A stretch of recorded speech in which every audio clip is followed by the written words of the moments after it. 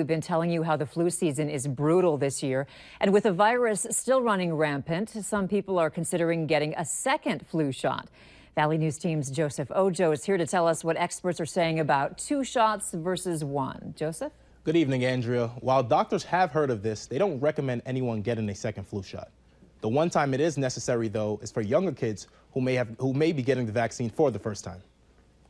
It is no secret that people worry about getting the flu and those who worry get their flu shot early in the season.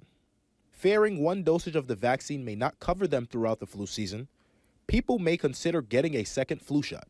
For adults, it never has been that you get two flu shots within the season. Um, the immunity is taken with that first immunization, and you aren't going to get any added benefit from it. Health expert Joanne Alman says a second vaccine for an individual who has had a flu shot before can affect the immune system. A second shot can also interfere with the antibodies your body has built up after the first vaccine. Due to that reason, for example, the elderly, they get a high, what we call a high dose vaccine because their immune system isn't as good at forming antibodies. The only time a second shot is recommended is for kids under the age of eight who have never had the vaccine before?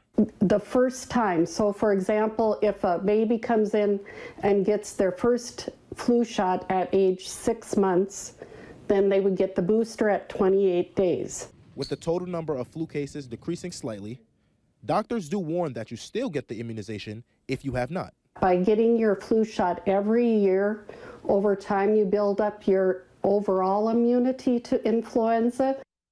So if you were to get the flu shot this March, the next time you would get your flu shot for the next season would be in the fall. Andrea, back to you. All right. Thank you so much, Joseph. Okay, basketball tonight.